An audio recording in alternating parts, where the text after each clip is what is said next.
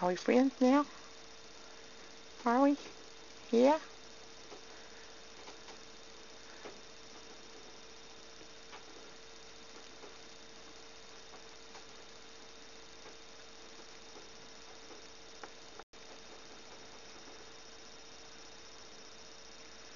Think of your name.